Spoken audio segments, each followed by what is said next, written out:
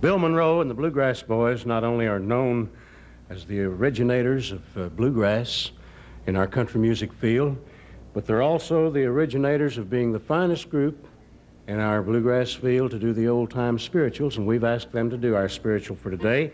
And I believe you had something you wanted to say, Bill, before you do this? I want to give Jack Greene credit for booking us on your show here. Uh, yes, he called me the other day, and he said you'd make a good replacement for Jeannie Seely. We're fine.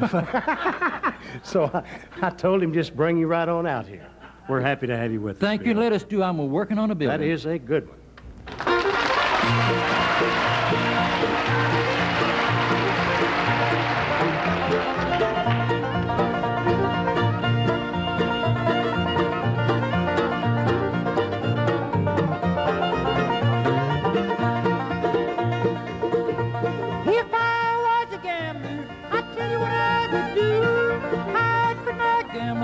And I'd work on the building too. I'm working on the building.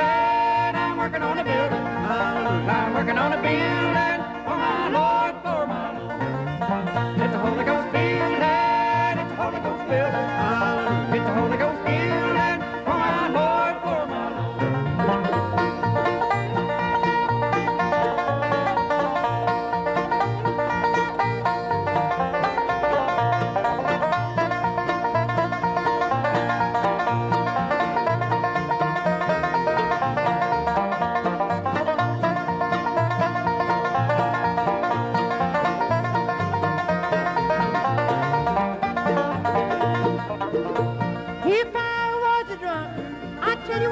I'd quit my drinking and I'd work on the building too. I'm a working on the building.